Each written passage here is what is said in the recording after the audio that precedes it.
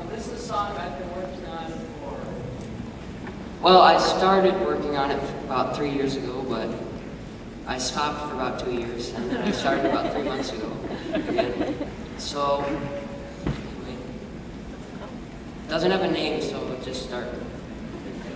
What if we think of a name for you, can it be a contest? Why not? There we go.